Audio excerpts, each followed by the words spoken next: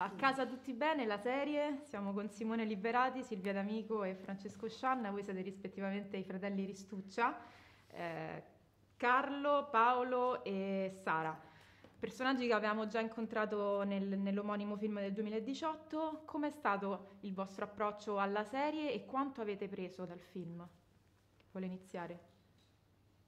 C'ho sempre questa cosa della sì. sì, questa cosa Quindi siamo noi. per gentilezza. Solo apparente. Quindi prego Francesco. Dai, inizio io. Ehm, in realtà l'approccio con il film è stato solo iniziale, quando tutti abbiamo scoperto del progetto è naturale che ognuno di noi è andato a guardare il personaggio che avrebbe dovuto rappresentare, però ehm, il lavoro che poi abbiamo fatto su, sulla serie è molto diverso da quello del film. Gabriele ci ha confessato che in una sua prima fase di scelta iniziale ognuno di noi aveva in sé qualcosa, qualche gancio che, la, che lo riportava all'attore del film. Però il nostro percorso è stato completamente differente, ognuno di noi ci ha messo del suo, le storie si evolvono, cambiano, se possibile siamo ancora peggio di quelli del film quindi è stato tutto una novità.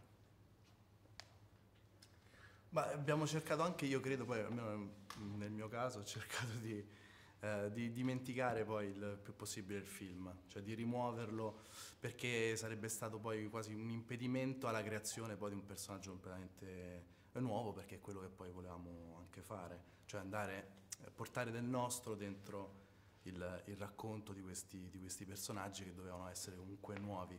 E anche Gabriele non ha mai mh, posto il film come riferimento o come cifra alla quale appunto riferirci e, e su cui lavorare, insomma, quindi siamo stati sempre molto liberi.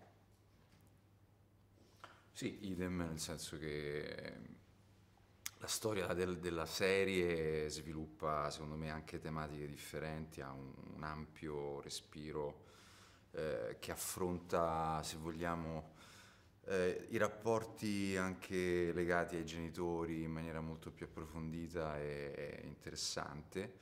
E devo dire che inizialmente io avevo, chiaramente avevo già visto il film prima di sapere de, del progetto di, della serie e quindi quando leggevo la serie mi compariva ogni tanto l'immagine diciamo, dell'attore del film e poi piano piano diciamo, è andata via e, e, poi sì, insomma, immergendosi nella, nella storia eh, abbiamo credo dato proprio vita a personaggi differenti.